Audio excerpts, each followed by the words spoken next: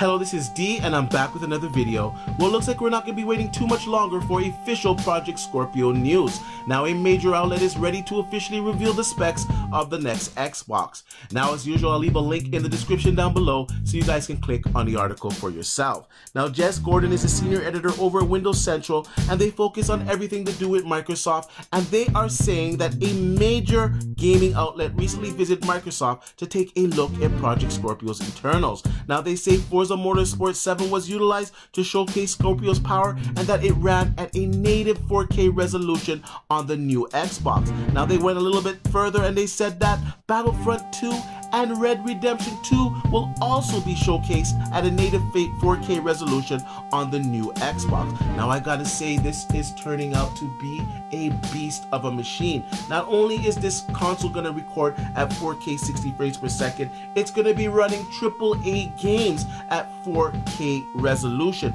Not a checkerboard or a upscaled 4K resolution, a native 4K resolution. Now, Jez Corden also answered some questions on Twitter, and he said that the console is still going to be a 6 teraflop console. And also, Shinobi chimed in. He said next week things are Scorpio things next week, and he said that the hardware sounds damn impressive. Now, I gotta say, I'm glad that the time is upon us for the Scorpio reveal. We've been speculating for months and months and months on what Scorpio is really going to be. And according to uh, Windows Central, Thursday, we are going to find out the details. And I have to tell you, I'm very excited.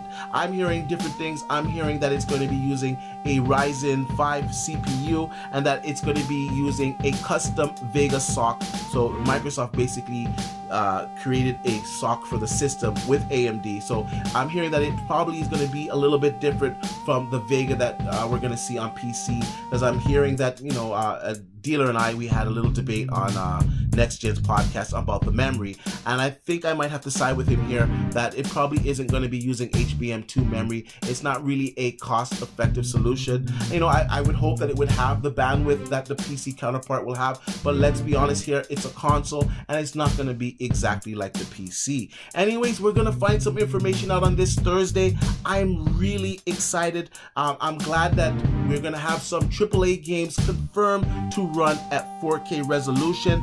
And I gotta say, it's going to be a game changer. Anyways, I want to know what you guys think. Are you guys glad that the news is finally going to be here? Or do you think that the Scorpio is just going to be overhyped and it will not deliver on it? Anyways, I want to know what you guys think. So please leave your comments down below. I ask you guys to like, share, and subscribe to the channel. And I'll see you guys on the next one.